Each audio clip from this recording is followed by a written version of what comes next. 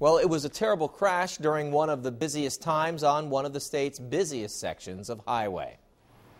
State police now believe that Kenneth Seaburg entered the highway by going up an exit ramp near the Macy's intersection in Bedford.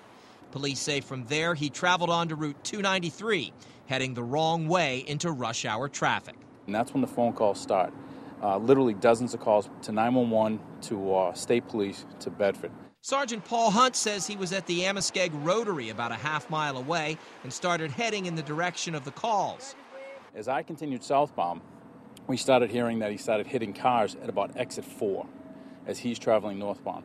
Steve Onen was driving one of the vehicles that got hit. He was going home from work. And I saw some cars, some red, you know, the brake lights coming on and a couple cars swerving. So I moved over to the center lane because the cars on the right were the ones that were swerving. The next thing I know, I look up and a pickup truck is coming north in the southbound lanes. Third vehicle that was hit was a Mercedes Benz.